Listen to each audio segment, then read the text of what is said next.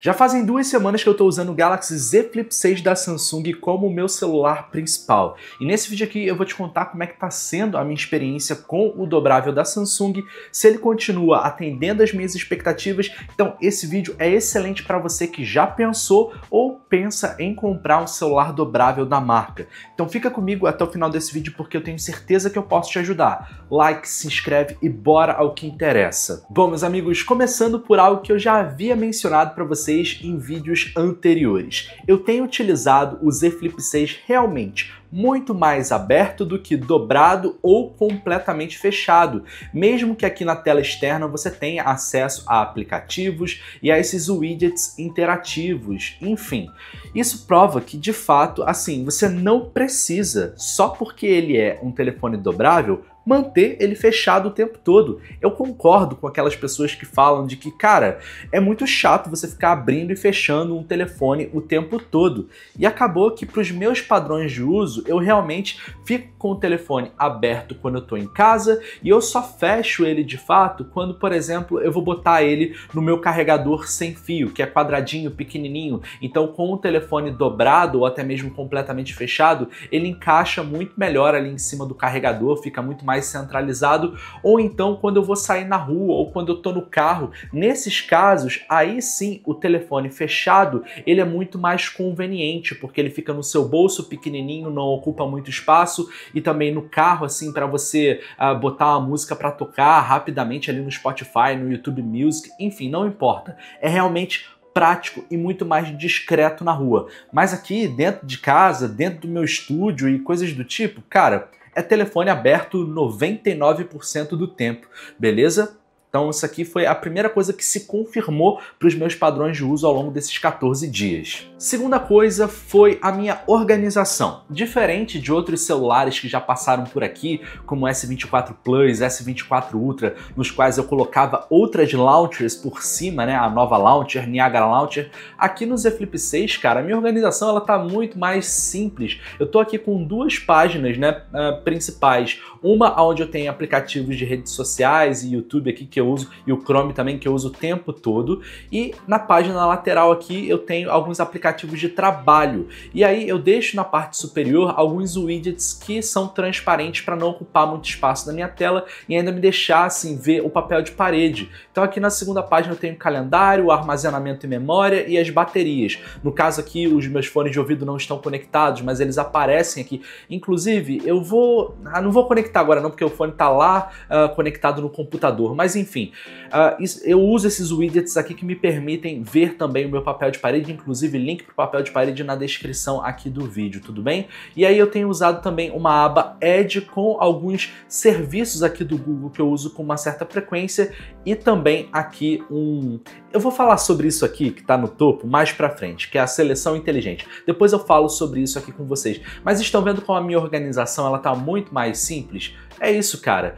E eu acho que ele tem ficado assim mais simples porque eu tenho a tela de fora, que quando eu uso aqui para abrir algum aplicativo e tudo mais, acaba funcionando realmente como se fosse uma launcher, né? Eu tenho aqui uma outra interface com a qual consigo interagir com o aparelho fechado. Então, por ter duas interfaces diferentes de uso aqui no meu celular, eu meio que não tô sentindo a necessidade de botar uma launcher por cima aqui da One UI, beleza? Uma outra coisa que eu percebi ao longo desses 14 dias é que o desempenho aqui, cara, do Z Flip 6 é muito sólido, mas muito sólido mesmo. É um telefone que não gargala para nada e que consegue rodar, obviamente, qualquer título que você tiver aí, que você baixar da Play Store sem o menor problema. Até porque esse é o primeiro Galaxy Z Flip que tem uma câmara de vapor aqui para ajudar no resfriamento do aparelho. Então, mesmo gravando vídeos por um período mais prolongado de tempo,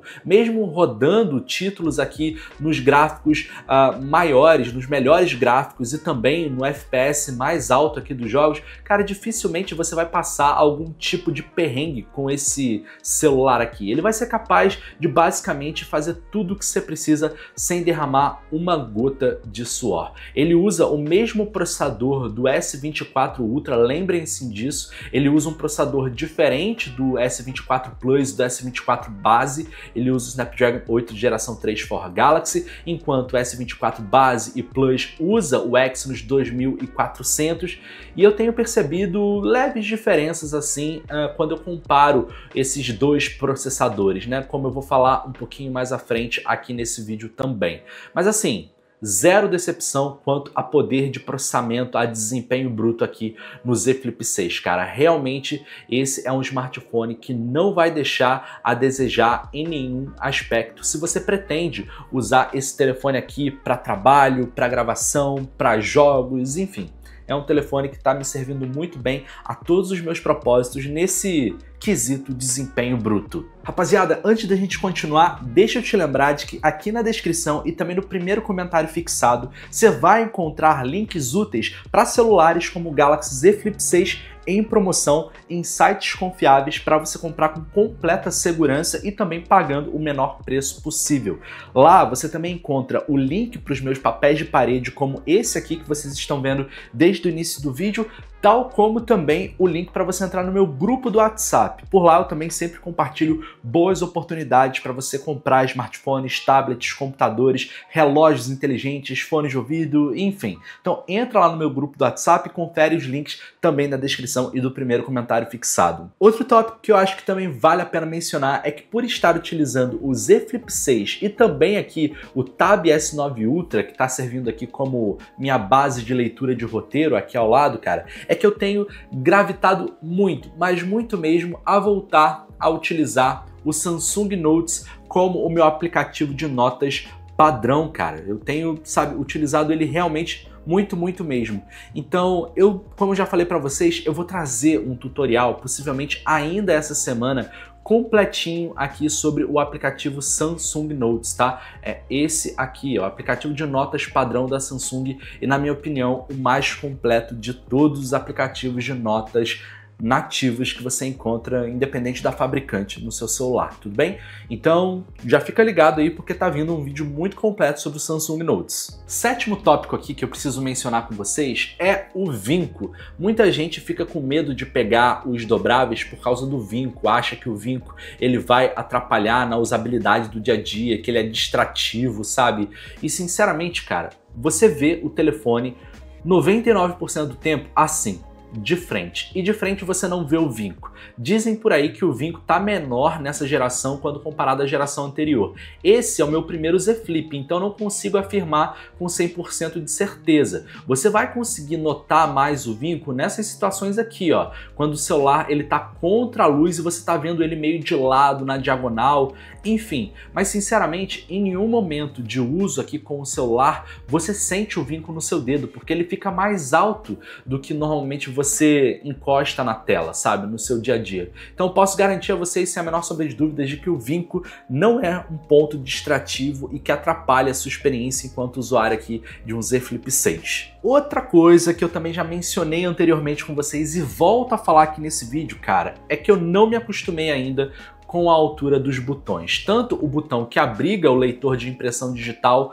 quanto os botões aqui de volume. E isso é um pouco chato, cara, porque simplesmente quando eu tô segurando o telefone aqui, uh, como eu normalmente seguro, eu não alcanço o botão entendeu? Porque o Z Flip ele é um telefone mais alto, então eu preciso ajustar o telefone na minha mão para clicar aqui no botão ou para colocar a minha impressão digital. Isso aqui é algo que está ah, me causando um leve desconforto conforme os dias vão passando e eu vou usando o Z Flip 6. Por enquanto está bem tolerável, não é algo que vá me incomodar a ponto de me fazer parar de usar o aparelho, mas eu tenho que ser 100% sincero, não é algo que eu estou curtindo aqui nesse celular. Não vejo uma solução prática para isso, é uma questão, acho que, realmente de hábito, mas eu estou demorando a me habituar. Até porque, como eu não uso só o Z Flip 6 ao longo do meu dia a dia, eu tenho vários celulares aqui e nos outros eu tenho um botão ali mais na altura do meu dedo, isso fica ressaltado, sabe? Esse desconforto ele fica ressaltado aqui no Z Flip. Aqui na parte inferior traseira do Z Flip 6, nós temos aquele anel de cobre, se eu não me engano, que habilita o carregamento sem fio para o Z Flip 6. Então você pode botar o Z Flip 6 assim apoiado em uma base de carregamento sem fio, que ele vai carregar. E adivinha só, eu tenho uma base como essa aqui, ó, no meu estúdio. Tá vendo esse trequinho aqui atrás no qual eu tô apontando? Aquilo ali é uma base de carregamento sem fio. Então eu consigo deixar o Z Flip 6 apoiadinho ali e ele carrega. Então ele fica tipo uma boa parte do dia ali apoiado. Posso até ativar aqui o modo de proteção de carregamento, né, para não desgastar a bateria dele de forma mais precoce, mas ele ficar pequenininho assim em alinhar perfeitamente ali com o meu carregador sem fio também é algo que tem me agradado bastante. Outros celulares que eu tenho aqui, como por exemplo o A55, que é um telefone intermediário não tem carregamento sem fio, eu não consigo fazer isso mas com o Z Flip 6 eu consigo. Isso aqui é uma mão na roda. Carregamento sem fio é vida. Meus amigos, no início do vídeo eu cheguei a mencionar também mais uma coisa que eu quero mostrar para vocês agora na prática, que é a questão da inteligência artificial. Esse é um celular topo de linha e ele tem acesso a todos os recursos aqui da Galaxy AI, como vocês podem ver. Mas o que, que eu uso na prática aqui do meu dia a dia com a inteligência artificial? São basicamente duas coisas. A primeira delas é quando, por exemplo, eu estou aqui navegando no meu Instagram e eu vejo alguma coisa de interessante. Já dei esse exemplo aqui para vocês também. Olha, eu achei interessante esse microfone aqui de mesa. Quero ver que microfone é esse. Basta ficar segurando aqui nesse botão é, inicial aqui do meu celular e circular aquilo que eu vi e automaticamente ele me mostra aqui o que está em questão. Posso inclusive redimensionar aqui para ele de fato entender que eu estava procurando é o microfone e não a caixa de som. E aí eu vi que isso aqui é um Blue Yeti, um microfone aqui muito bom que inclusive eu tenho aqui no estúdio também.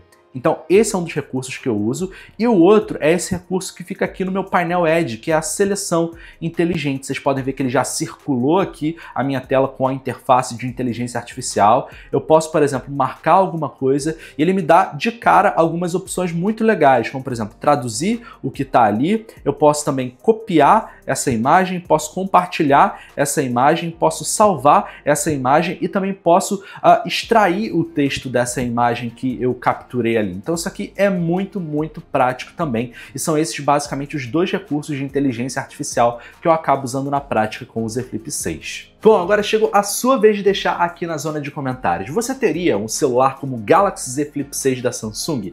Deixa aqui que eu tô curioso para saber, beleza? Por hoje vou ficando por aqui. Eu sou o Gabriel Miranda. Forte abraço para vocês e tchau.